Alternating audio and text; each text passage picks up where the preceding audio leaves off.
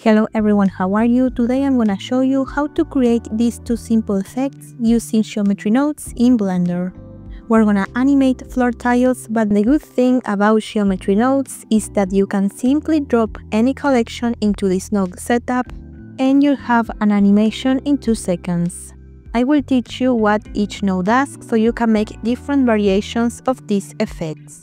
Lastly, I will show you how you can ease your geometry nodes animations to give some character to the motion.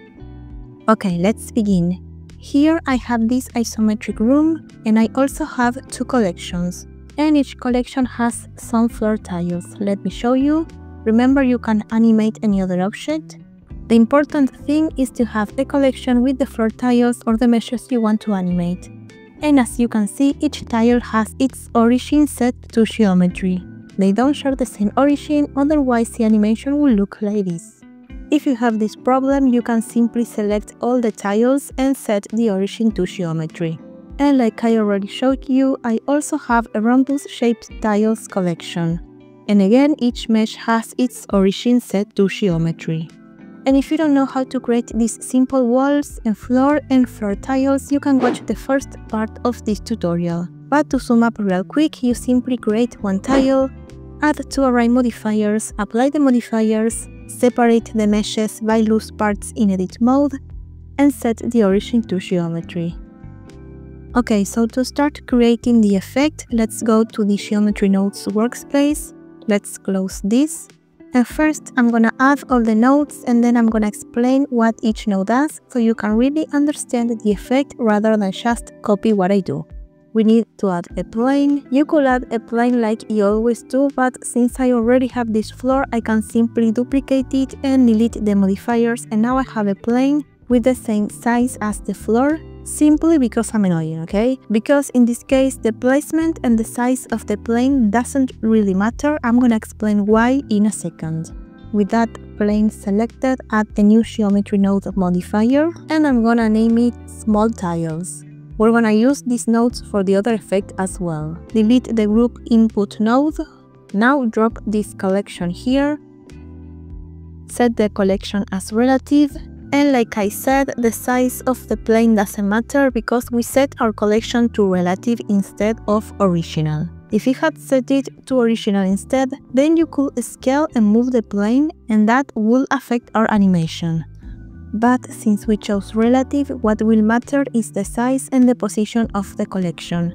If we move or scale the objects of that collection, the final animation will move as well, but you won't be able to move or scale the plane. Enable separate children because if we don't, then all the tiles are going to move as one object. Stretch this socket and add a Translate Instances node. Let's move this one, and now add a Rotate Instances node. And now add a Delete Geometry node.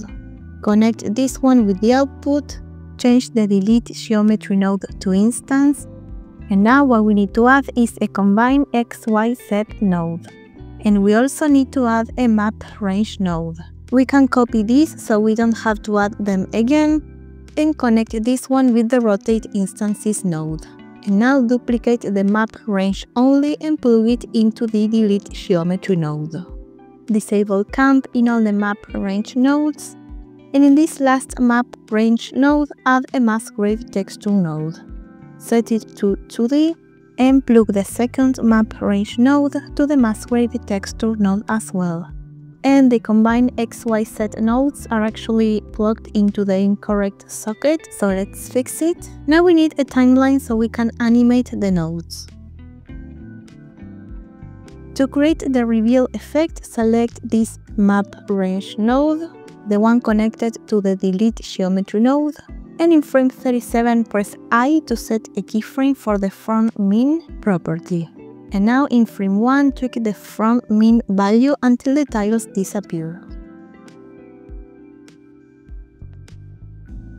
As you can see, the delete geometry node creates a reveal effect, which we control with the map range node. And what this Musgrave texture node does is to add some randomness to the effect, because if we mute it, the tiles will appear at the same time and not little by little. Okay, now let's move on to the map range node that is connected to the rotate instances node so we can animate the rotation of the tiles. Again, I'm in frame 37 and I'm gonna set the to max property to 0 to align my tiles. Now set a keyframe for every property. And now in frame 1, let's mute this node to see the tiles. And here you can come up with your own values if you like. I chose 0.1, 2.5, minus 1.5 and 8 and set a keyframe. Let's see. And again, if we didn't have a Musgrave texture node, all the tiles will be rotated to the same side instead of being randomly rotated. Let's unmute this one to see how the whole effect is looking. Okay, let's mute this node again and for the position animation go to frame 21 and set the from max property to 0. Now the tiles are down where the floor is. Set a keyframe for the to min property and in frame 1 I set it to 2.1. Now my tiles are up. Let's set a keyframe and let's take a look. If you chose a negative number instead, the tiles will start down and go up to the final position.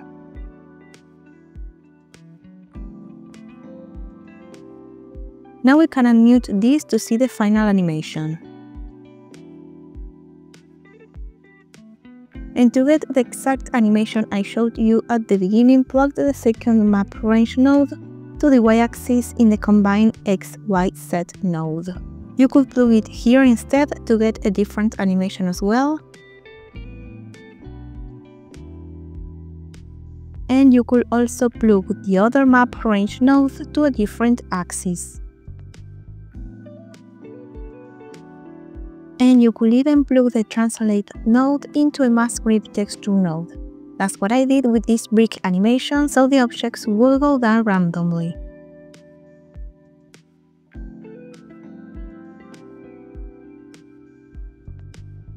Let's mute it to see the difference.